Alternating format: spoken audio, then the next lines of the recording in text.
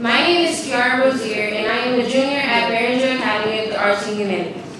My question to you all is, what should really be the highest of all priorities? Making new schools, or investing in the ones that have been deprived and underprivileged since God knows when? The educational system in Newark is literally in shambles and drastically declining.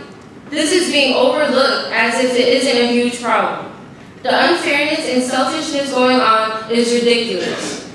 Barringer High School is 52 years old, so you can imagine, if you haven't seen it already, how much renovation is needed. In 30 of Newark's public schools, because of the old pipes, there is lead contamination in the school water. This is unacceptable because it was highly preventable. In 2010, Mark Zuckerberg donated $100 million to Newark Public School System. So why is this even a problem? Look at how unsafe it is for students in those 30 public schools who may have been drinking the water. Officials say they don't know how long students at nearly half of the Newark schools may have been drinking the water with elevated levels of lead. Reported from Dan Ivers at NJ.com. It was said that Newark will be testing 17,000 students for lead poisoning. If even low levels of lead is found in these kids' blood, do you know it can never be corrected? Right.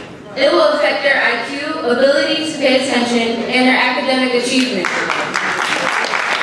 Just because it's Newark, a city of high crime, with predominantly poverty-stricken neighborhoods, why should this issue get less attention than, let's say, a city like Ramsey? It's truly unfair because the newer schools in Newark do not have this problem.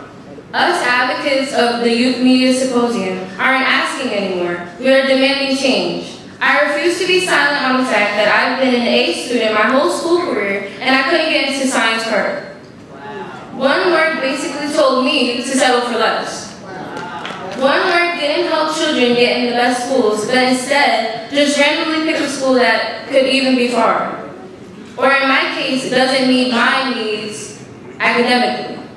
I refuse to be silent on the fact that my school doesn't have enough updated textbooks, grade principals are being fired, and teachers are teaching subjects they aren't certified to teach. YMS has come up with a vision for change, which is equal opportunities for all students in all schools, excellent resources in every classroom, highly qualified teachers in every content area, less focus on standardized testing, a re-examination of one Newark, and lastly, return of Newark schools to local control.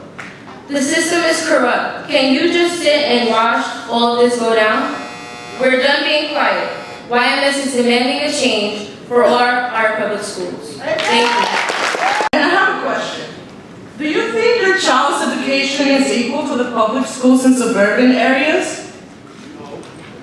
Well, yeah, let me tell you that it's not. We lack equal opportunity for all in all schools. Here in Newark, opportunities are limited and they are not provided equally for all students. An example of this is in my school, Barringer High School. It's our first year having honor courses since 2013, and we're still missing AP. We have broken computers sitting in the back of classrooms like it's nothing. We have subs that stay longer than what they should be. We have a library without a librarian. Like, who am I supposed to go to if I want to take a book? Do I just steal it or do I just take it? right. We have broken smart boards that took a semester into the school year just to get fixed. We have chemistry and biology classes without a working lab. We have classrooms with nine windows but only three shades. And we have bathrooms with doors that don't lock. And now we get cheap box water because our schools have elevated levels of lead in our and water. These are only some of the things going on in Barringer. Can you imagine if I sit here and name all the things that are going on in all schools? This, this lack of resources, a school not being able to afford adequate staff, transportation issues, curriculums that aren't challenging, and on top of that, unequal opportunities are some of the reasons kids don't, want, don't even want to come to school anymore. This leads to the high rates of absences in the school. Nearly one in four children misses 10% or more school days in their school year between kindergarten to third grade. And it's not that, it's not that different for higher grades. And what's more impressive is that this rates double and triple the state's average according to the statistics from the New Jersey Department of Education in Newark Public Schools. This and many more other reasons is why students from the Abbott Leadership Institute Youth Media Symposium came up with our Vision for Change, a six-point campaign to help make Public Schools better.